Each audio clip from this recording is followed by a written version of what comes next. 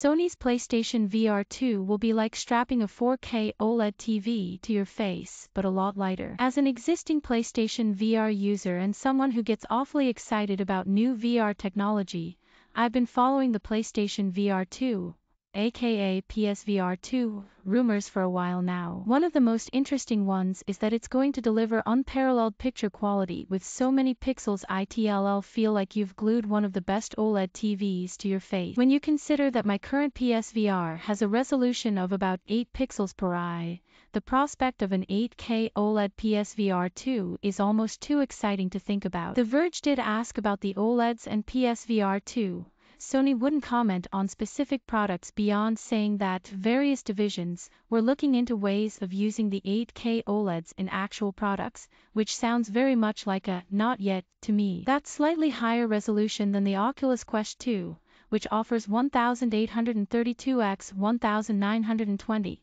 so it's still a big improvement over the 2016 PlayStation VR that I have.